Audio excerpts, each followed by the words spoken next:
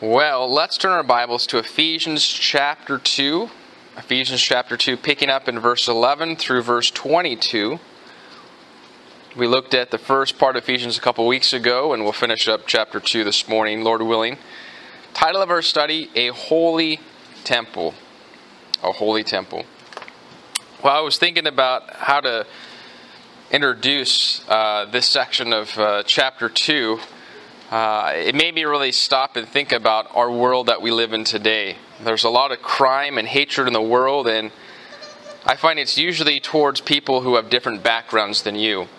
Uh, maybe you guys have heard or seen of the Black Lives Matter movement, or you've heard about the five policemen that were killed in Dallas, Texas. And yet we see this in our local paper all the time as well uh, that there's crime and there's hatred and there's violence. And it's sad. It's sad to see such hatred between people. And, um, and yet there is hope. The hope is Jesus. And when you come to Jesus Christ, He takes that heart of hatred and He gives you that heart of love for everyone. Even those you may not really like, you still love them. And, uh, and, and so that's the heart that, that we have now in Christ is a heart of love. And that's our heart heart's prayer for others is that they would come to Jesus and be changed and transformed as well. But as Paul writes to us uh, in, in this, this letter, well, to the Ephesians, but it's for us as well, we see that even in the early church there were such problems. And it was pri- made up primarily of issues between Jews and Gentiles. Now, the Jews uh, were, you could say, maybe based more in Jerusalem, which would make sense, right, in Israel. And so the early church was made up of a lot of Jews who came to Christ, right? They were what we'd call completed Jews or Messianic Jews uh, in, in a sense today. Um, and so the gospel was going forth to all the, you know, cities and towns and villages around to the Gentiles. That's anyone who was non-Jewish and, uh, and they were getting saved. But there were some contentions between those two groups. And, uh, and Paul addresses that, and, uh, and he tells them that in Christ they can have unity and peace and love. And, um, and that's what our world needs today. How is that possible? Well, let's read and find out together. Uh, we'll pick up here in verse 11 and go through uh, verse 13. Uh, verse 11 of Ephesians chapter 2 says, Therefore, remember that you, once Gentiles in the flesh, then he describes it a little bit, who are called uncircumcision by what is called the circumcision made in the flesh by hands, that at the time you were without Christ, being aliens from the commonwealth of Israel, and strangers from the covenants of promise, having no hope and without God in the world. But now, in Christ Jesus, you who were once far off have been brought near by the blood of Christ. Anytime we, uh, as Bible students, read uh, in our Bible the word therefore, we should pause and stop and ask the question what, what is the therefore, therefore? Well, in light of what we looked at a couple weeks ago, that we are saved by grace through faith, that not of ourselves, it's a gift from God, not of works, lest any man should boast. And then we also looked that God has created us as His workmanship, uh, His masterpiece, you could say. And He's prepared good works for us in advance, that we should walk in those good works. In light of this, Paul is telling us that we need to remember who we used to be we need to remember the past.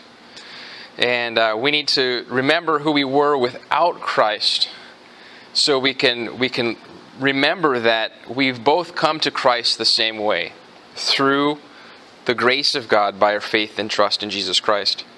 So he says we need to remember. He says that we need to remember we were without Christ, we had no Savior.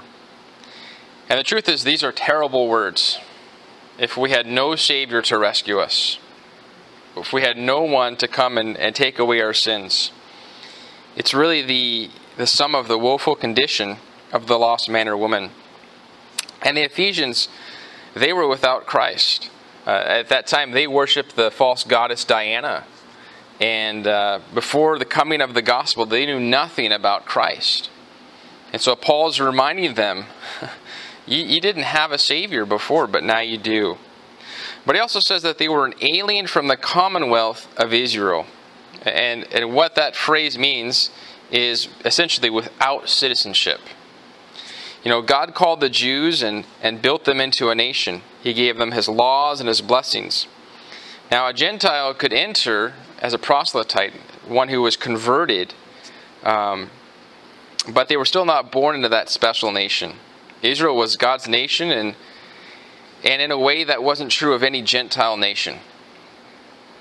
But it also says that they were a stranger from the covenants of promise. Now, we remember in Genesis chapter 12 that God made a covenant with Abraham. He, he said, I will bless those who bless you, and I will curse him who curses you. And he also said, In you all the nations of the earth shall be blessed. And that includes the Gentiles. So there is a promise there that through Israel, when the Messiah came, all the nations would be blessed. But what's interesting is that God never made a covenant with the Gentile nation. The Gentiles were aliens or strangers. And uh, it's interesting because the Jews never let them forget that. the Jews always said, Oh, you're Gentiles. You're not like us. And uh, this issue was coming to the church when people got saved. Well, I have a Jewish background. You have a Gentile background somehow I'm closer to God than you. And um, and uh, it's interesting. Many of the Pharisees at that time, um, they would pray daily, "Oh God, I give thanks that I am a Jew and not a Gentile."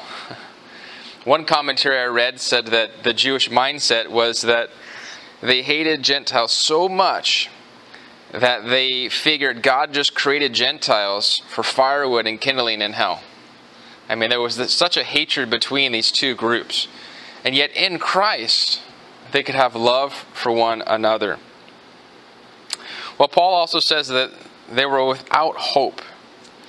What's interesting is historians tell us at this time there's a great deal of hopelessness in, the, in all the ancient world.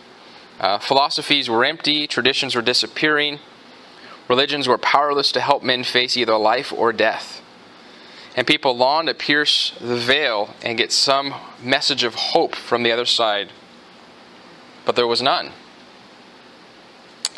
And they were also without God in the world. Now, you remember when Paul was in Athens in Acts chapter 17, he found many false gods and many false idols.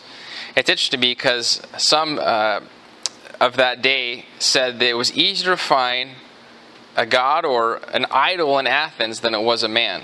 They were everywhere, false idols. And so they were without God. But they're also without God in the world. And that's important because some people believe in God, but he believes they believe he lives in heaven and has nothing to do with this world. And that way a person can still believe in God and be without God in the world. And we know that Jesus Christ came from heaven to this world to rescue us. And so we have been rescued through the blood of Jesus Christ. And so God has reconciled us to Himself. And, uh, and it has to start there. Before we can um, be reconciled with other people, we have to be first reconciled with God. And it, it, it starts there. And so we have this reconciliation with the Lord through the Son. And I love what Paul does here in verse 13. I would encourage you to underline those words, but now. if we just stopped at verse 12, we would feel so hopeless, right?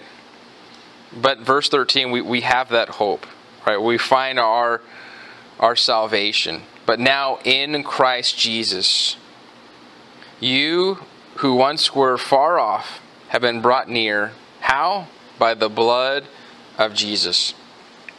From the very beginning, blood was required to atone for sins.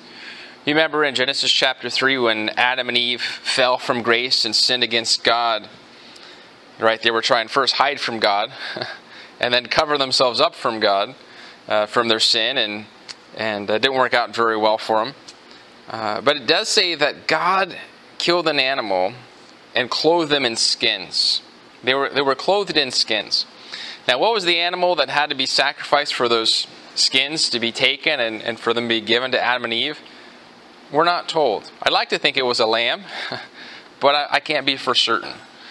But we know from that very beginning there was a sacrifice. And we see that their kids, um, Cain and Abel, knew that a sacrifice was required to bring to the Lord. So from the very beginning, from the first time that mankind sinned, there was a blood sacrifice that was to be brought. It was required. And so, since then, uh, that sacrifice was needed. And we also see that um, in the tabernacle and the temple, both of them had a priest who would sacrifice an animal on behalf of the people for their atonement.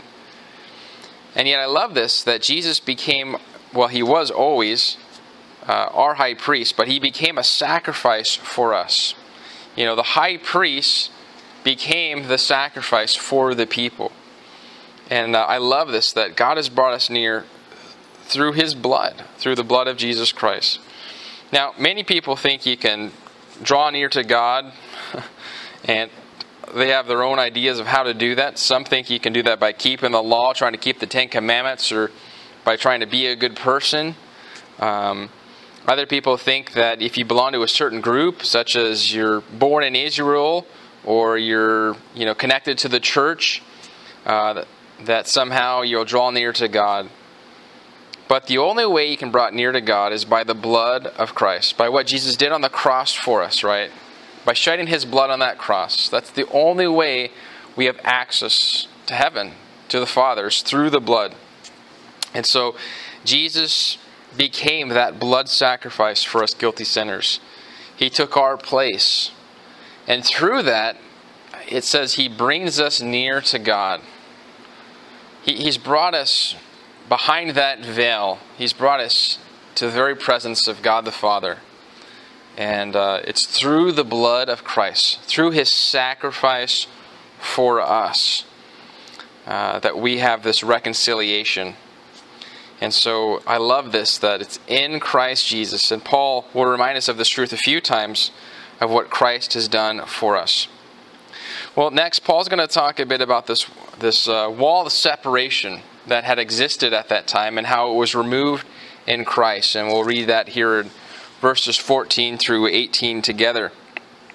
He says, For he himself, speaking of Jesus, is our peace, who was made both one and has broken down the middle wall of separation, having abolished in his flesh the enmity, that is, the law of commandments contained in ordinances, so as to create in himself one new man from the two, thus making peace, and that he himself might reconcile them both to God in one body through the cross, thereby putting to death the enmity.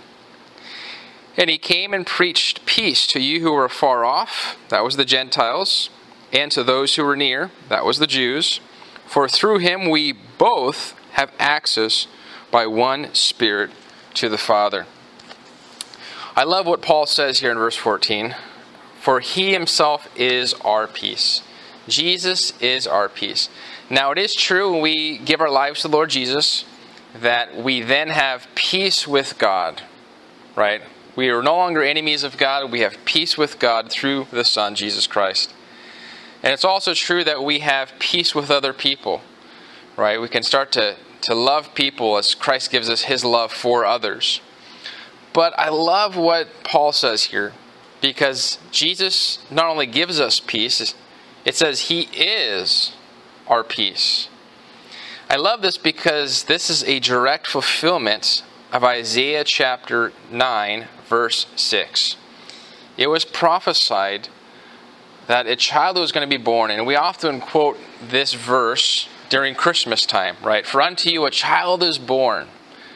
He shall be called, and we have all these magnificent titles. And one of those is the Prince of Peace. And Jesus fulfilled that. He is our peace. He is the Prince of Peace. There's a direct fulfillment of prophecy and Jesus Christ that He bridged that gap between us and the Father, and He also made peace between Jew and Gentile, between people of all kind. And so the work of Jesus on the cross is the common salvation for both Jews and Gentiles. There's therefore no longer any dividing wall between the two. Jesus broke down this wall. And I want to show you a picture of this um, so you can kind of get a glance at this of what was going on at that time. I think it's, it's helpful to know. Uh, in the temple, between the court of the Gentiles and the court of women, there's this physical barrier. You can see it there on the screen. And it was an actual wall of separation between the Jews and the Gentiles. Now, you remember when Paul is writing this letter, he's under house arrest. Right? Remember the book of Acts that uh, Paul was preaching the gospel and somebody falsely accused him, hey, you brought a Gentile into the temple. And I, you know, we, we just assumed we saw this Gentile, and Paul must have brought him in, and there was this big riot in the Antonia fortress, and he was brought up the stairs and made his plea, and, and then they were going to flog him. And he said, Hey, I'm a Roman citizen. And then they found out they were going to try and kill Paul, and there was a, you know, this big plot to kill him, and they were fasting. And so they said, All right, well, let's send him away. Well, all this was because the Jews and the Gentiles are supposed to be separate. And so there was this, this barrier, this wall of separation. And um, I love that Paul makes it clear that in Jesus, the wall is gone. And so this wall of separation is gone because our common unity in Jesus is greater than any previous division. And uh, we need to remember that. Now, one of the things you'll notice about this, this picture of, of how the temple was laid out is that the court of the Gentiles is what? Large. It's very large. God's desire from the beginning, when, he, when the temple was created, was that mass amounts of Gentiles would come and worship Him. And yet, you recall that twice in the, in the ministry of Jesus on earth, He had to cleanse out the temple. They, that's where they were selling all kinds of stuff, sheep, and they were. You know, Jesus said, you're, "You're to make my house a house of prayer," and you've turned into a, a den of robbers and thieves. They, they were taking up all the space for the Gentiles to come and worship the Lord. So Jesus was upset about that because he wanted everyone to come and worship. And, uh, and so it's a reminder to us that we don't want to put up a barrier to keep someone from coming to the Lord, to come and worship Him. And uh, we have this lordship of Jesus Christ in our lives. And, and that should help us. See, there's, there's nothing that. Um, is a great difference between us and others. Some people they get so caught up in the po- politics or racial things or economics or language or geography or whatever. Um, and, and, and it's sad because they don't really understand the lordship of Jesus Christ. That in Him there's there's no division. We have that unity. This wall of separation is gone. And it's through the cross that we have this unity that this middle wall of separation is gone. We've been reconciled. And uh, we are now reconciled to God through the cross.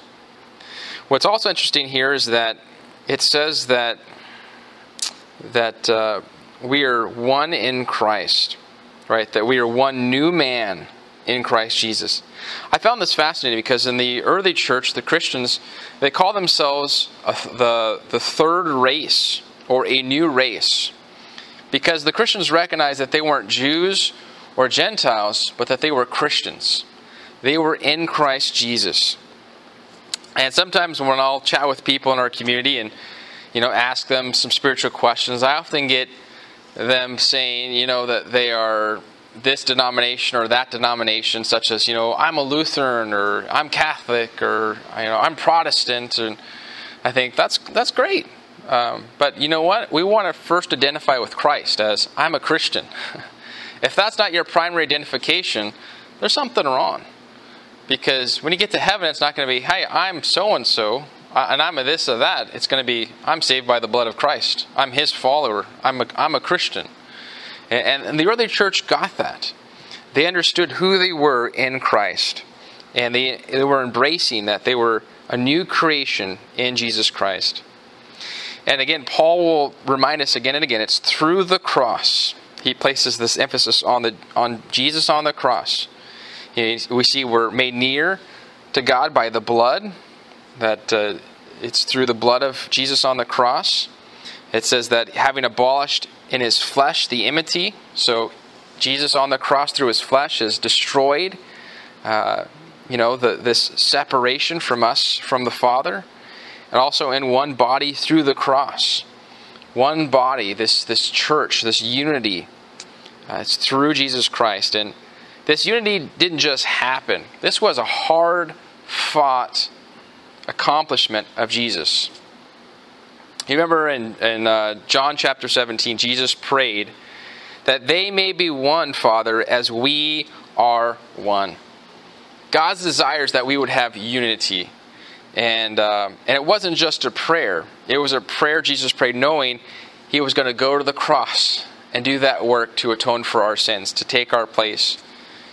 And he knew he would accomplish, and he knew he was willing to pay the price so we could have that unity.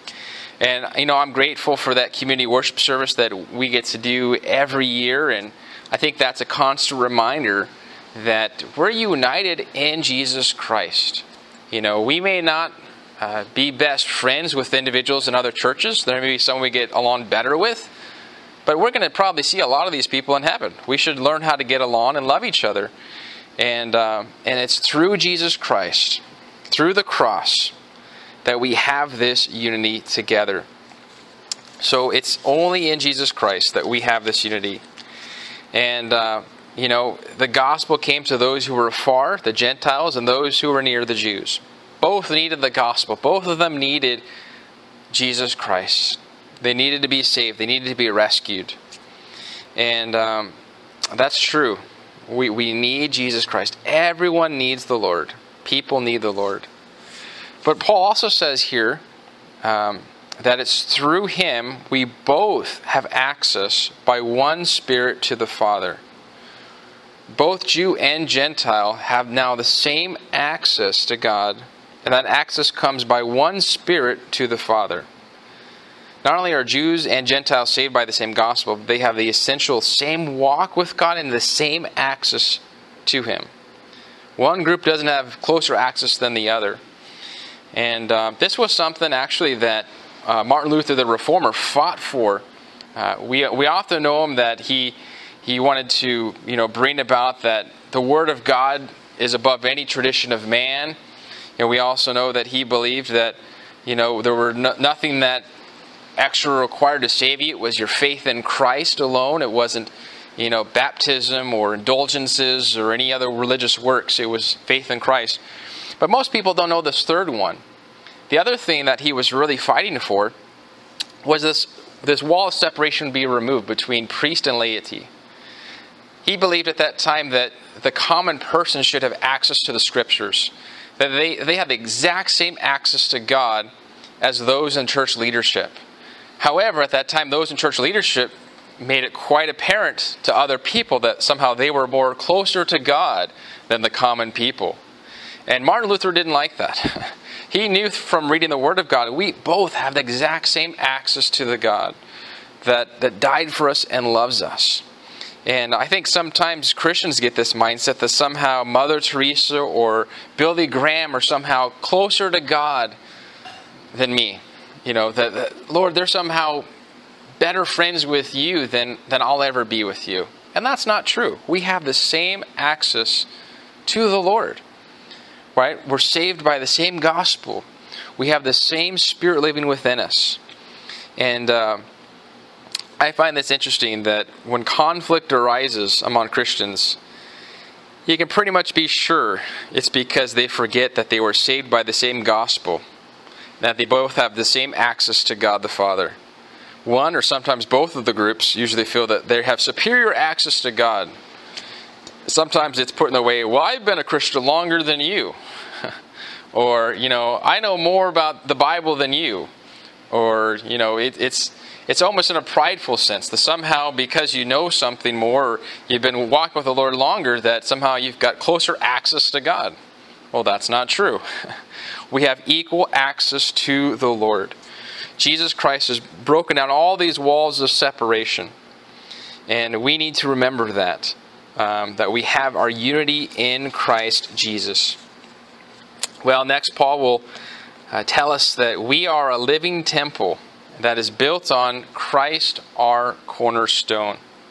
And we'll see that here in verses 19 through 22. He says, Now therefore, you are no longer strangers and foreigners, but fellow citizens with the saints and members of the household of God, having been built on the foundation of the apostles and prophets, Jesus Christ Himself being the chief cornerstone, in whom the whole building, being fitted together, grows into a holy temple in the Lord, in whom you also are being built together for a dwelling place of God in the Spirit.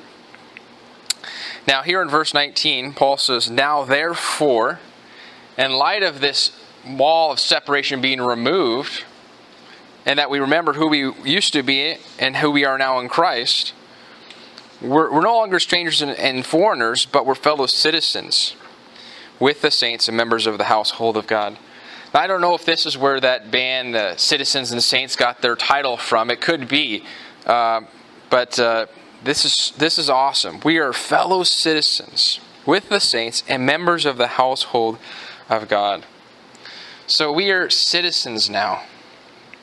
And, uh, you know, no longer strangers and foreigners. Paul says that we Gentiles should not be regarded as second class citizens in God's kingdom. And uh, being a citizen means we have rights and responsibilities.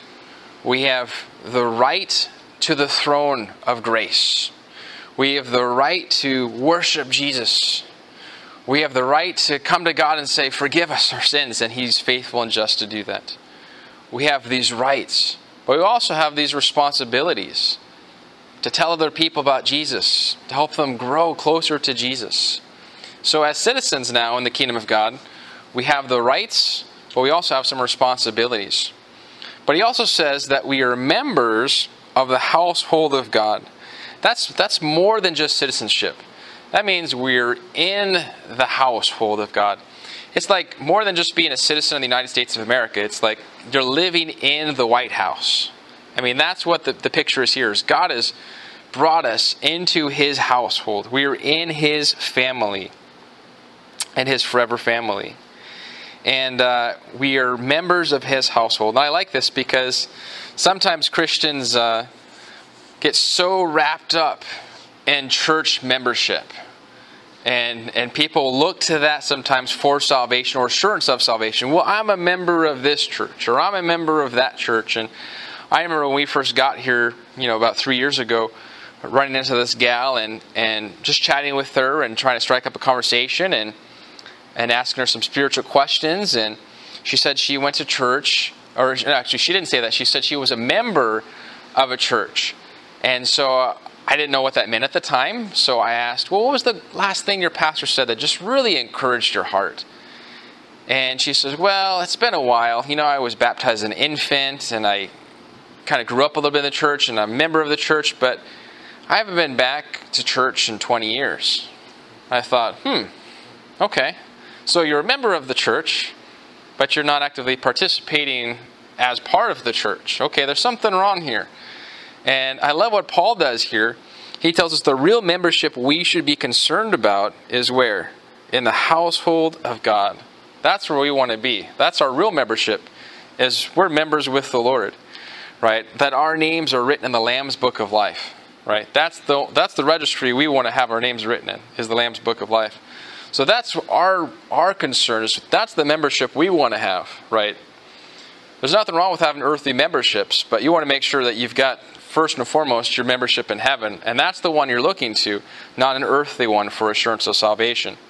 So we need to have that membership, and, and I'm grateful that in Christ Jesus we are members, we are part of His family. But He tells us that He is making this this household, He's making this temple, this this holy temple. And it says here that it's being built on the foundation of the apostles and prophets, with Jesus Christ himself being the chief cornerstone.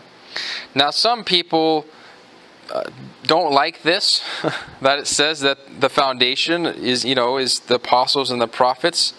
with Jesus Christ being the chief cornerstone. What it's saying here is that, in a sense, the apostles and prophets helped lay a foundation, right? They were supremely the authoritative uh, voice at the time, they were a revelation for all God's people. Uh, we have the New Testament because of these men of God. And so uh, they were, in a sense, a foundation to the early church. Now, as a foundation, I believe that means there are no uh, capital A apostles or capital P prophets today. Um, and, and, I, and I think that that foundation is already set. And we kind of get that here in the scripture, right? That's what we see. Uh, God's word is saying that they were that foundation. I do think, in a sense, we maybe we have, I'd say, lowercase apostles or lowercase prophets today. Um, you know, and some people will take those titles upon themselves, but I don't believe we have those offices or titles in the same sense that Paul had in his day, because the foundation has been laid in the early church. But it also says here that Jesus Christ is the chief cornerstone. Now, some people don't like that because they think, well, Jesus should be the foundation. Yes, he is the foundation. But what Paul is doing here is he's grabbing a hold of a picture that they would have understood at that time that maybe we don't understand in our day and age. That chief cornerstone in the East was considered to be even more important than the foundation. Why? Well, the cornerstone was placed in an extreme corner and it binded all the other stones in the building together. It was the most important stone in the structure because it was the one on which every other stone was aligned with, and it was the one which everything else depended upon for stability. So if you didn't have that cornerstone, the building would be a mess. And oftentimes the the person constructing would, would put their name, the royal name on that chief cornerstone. Well, Jesus Christ is our chief cornerstone. The foundation of the church is built upon Him, and it's organized and structured around Him. If we didn't have Jesus Christ as our cornerstone, we would be a mess. Think of it like this: if you've ever seen a uh, an older bridge, or you know, you'll see one of these arches. Sometimes, if you, especially if you go over to uh, the Middle East, you'll see these arches still used today. There's a stone right there on the top. It's called the keystone. If we removed that keystone, the arch would crumble and fall. Now you need all those stones working together, but there's one stone that brings the stability of all the other stones. And that was the same that was true with this chief cornerstone. That if you didn't have this cornerstone, you, you didn't have a way to really structure the rest of the building. And so Paul is grabbing a hold of this picture for us and saying, our lives need to be built upon Christ. He needs to be the chief cornerstone in our life. And uh, and he says that we are this this holy temple being assembled. And Jesus Christ is the chief architect, right? It's his church, right? So he's he's building this, he's growing it, it's fitting together. He's putting us in, in pieces where he wants them to go in his holy temple in the Lord but also says, In whom you also are being built together for a dwelling place of God in the Spirit. So we're being built together for a dwelling place of God in the Spirit. Now, when Solomon built his temple, he built it out of these huge stones. And he had these stones prepared at a place that was far away from the temple building.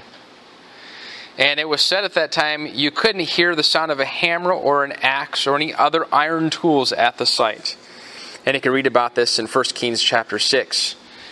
And I love this because God does the same with us, right? He, he prepares us before He fits us into this holy temple, right? He saves us, and once He saves us as we were far off, He brings us near, and He, he puts us into the family of God. He puts us into this building He's, he's fitting us together. And he's, he's made us a dwelling place of God in the Spirit. So the Holy Spirit is dwelling in us individually, but then also corporately as His church. So it's a reminder that we used to be separated from God, but now we are holy and set apart to God to allow the Spirit to come and live in us and change us and transform us. And so We are this living temple that's built on Christ, our cornerstone. Now, remember the disciples, when they saw the temple in Jesus' time, um, they thought it was amazing. Some of them thought that when they saw Solomon's temple, which really you could say was David's temple. Solomon used all the materials and constructed it, but David had the blueprints and got all the material together. Um, and some people loved that temple. And you'll read later on when Nehemiah and Ezra that they're trying to rebuild the walls in the temple. That some people were excited to see the foundation laid, and others were sad because they thought it's not like it used to be. And then there was King Herod's temple, and that's the one the disciples were saying, Man, look at this massive building. It's, it's just amazing. And Jesus said, I tell you the truth, not one stone will be left upon another. And we know that happened in 70 AD when the Roman uh, emperor or governor Titus came in and, and uh, destroyed everything.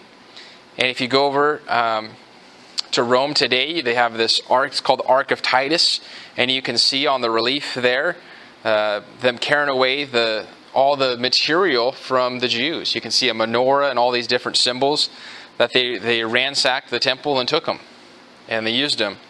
And so that temple was destroyed. And there are many people today, if you go to Israel, they're looking for the, the third temple. They're looking for another temple to be built. And uh, when we go to Israel, and we're hoping to go again in a few years, we remind people that there is another temple. a living temple that God is constructing. And it's of his people. He is assembling us together as a, this one large church family. And he's putting us together piece by piece because he desires to dwell in his people and among his people. And so we have this common foundation, right? The whole building of God's people growing together in a beautiful way as a holy temple where God dwells in beauty and glory.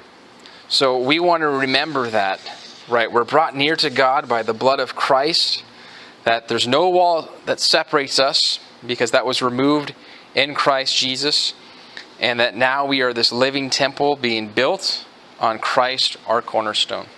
Let's pray.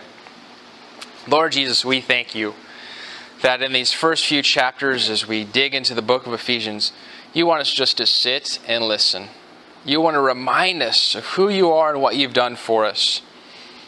We thank you, Lord, for your salvation. We thank you, Jesus, that you have rescued us, that you have made a way for us to be saved, that we are now brought near through the blood of Jesus on the cross. That he was took our place, that he was dead and buried, but rose from the grave. Lord, we thank you that you've removed that wall of separation from us not being able to come to you, that now we have direct access. We can boldly approach the throne of grace and find our help in time of need. Lord, that you've broken down the walls that men like to build, to divide, to keep others away, to kind of have this holy huddle. Lord, may we not do that with people. May we build bridges to people so they can come to you. May we help people fall in love with you, Lord. And Lord, as as we get to be a part of your church, may you continue, Lord, building us and putting us in that place, Lord, in your holy temple where you desire us to be. Help us, Lord, to be useful unto you. Lord, we love you and we do pray, Lord, if there be any here among us this morning who have yet to surrender their life to you, that, Lord, you'd be working on their hearts right now. So, Lord, we ask that you would make yourself real to those who need you, that by your Spirit you'd be convicting them of your sin and convincing them of your love for them, and that you took their place on the cross. And as every head is bowed here and every Christian is praying, if you're here this morning and you'd like to give your life to Jesus Christ, you, you haven't done that yet, um, I want to encourage you to do that this morning.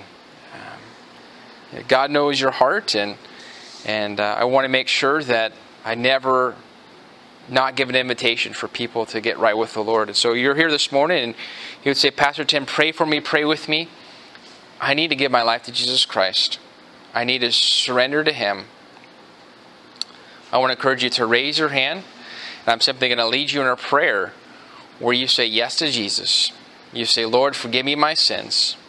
Come into my life. Make me a new creature. Make me a new creation. If that's you this morning, I just want to encourage you to raise your hand and hold it high. Lord, we thank you for knowing us and loving us. We thank you, Lord, for your word, the source of our encouragement, of our equipping, the source of the promises you have for us. Lord, the word that gives us life. For Jesus, you are the living word that became flesh and dwelt among us. And we beheld your glory, the glory of the only begotten of the Father, full of grace and truth. Lord Jesus, may we be your people, full of grace and truth. May we be people that are filled with faith, hope, and love. We pray this in Jesus' name. Amen. Well, in just a moment, we'll have the distribution of communion. Hold the bread and the